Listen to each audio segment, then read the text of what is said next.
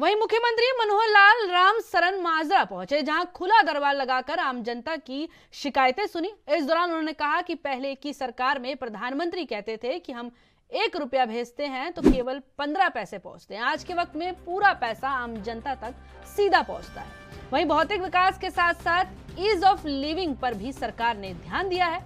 बता दें कि मुख्यमंत्री मनोहर लाल हरियाणा की आम जनता को शनिवार शाम पाँच बजे सीएम की विशेष चर्चा कार्यक्रम के माध्यम से संबोधित करेंगे